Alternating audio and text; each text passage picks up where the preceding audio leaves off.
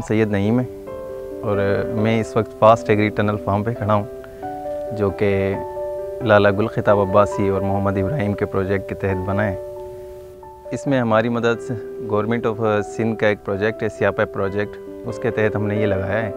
इसमें हमारे को 60 परसेंट सब्सिडी जो है वो गवर्नमेंट ऑफ़ सिंध ने फराम की है सियापा प्रोजेक्ट के तहत। जो 40 परसेंट है वो फार्मर शेयर था, जो कि हमने दिया था। ये अक्टूबर 2017 से हमारा ये फॉर्म चल रहा है। इसमें जो आम खुली फ़ील्ड है, जो ओपन फ़ील्ड है, उसके मुकाबले में इसमें 80 टू 90 परसेंट जो प्रोडक्शन है, वो ज़्यादा होती है। जैसे कि ओपन फ़ील्ड के अंदर क्यूकम्बर की जो क्रॉप है, वो 300 मन और 400 मन तक जाती है, जबकि टनल के अंदर ड्रिप इरीगेशन सिस्टम में ये 2100 2200 से 2500 मन तक चली जाती है। ये गर्मियों में तकरीबन 40 से 45 दिन में ये प्रोडक्शन पे आ जाता है, जबकि सर्दियों के अंदर ये दो माह के अंदर प्रोडक्शन में आ जाता है। इसमें पानी की 80 परसेंट बचत है। इस फ्लड के मुकाबले में 80 परसेंट बचत है और इसमें बहुत मखसूस टाइम पर पानी देना पड़ता है।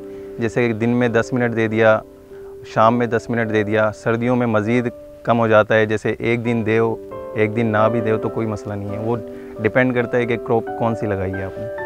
खाद का ऐसा है कि इसके अंदर खाद हर पौधे को फ्रॉम बिगनिंग टू एंड हर प्लांट को बिल्कुल एक्यूरेट खाद जारी होती है, जिसकी वजह से प्रोडक्शन भी बहुत ज़्यादा होती है। ड्रिप इरीगेशन में हम पानी तकरीबन 80 परसेंट बचा रहे हैं। इसके अलावा ज़मीन के अंदर जड़ी बूटियाँ नहीं होती, घास फूस नहीं होती, और ज़मीन में जो नम, की नमी बन जाती है, बहुत ज़्यादा फ्लडिंग की वजह से, वो उससे भी ज़मीन ख़राब होती है, लेकिन चूँकि ड्रिप इरीगेशन में पानी बहुत कम जाता है तो उसकी वजह से ज़मीन में कलराहट भी पैदा नहीं होती। लेबर की बचत ऐसे कि आप फिर डिपेंड कर रहा है आपने क्रॉप कौन सी लगाई हुई है। लेकिन जो रिसोर्स आपके फ्लड में इस्तेमाल होते थे, वो उससे आपकी बचत हो जाती है।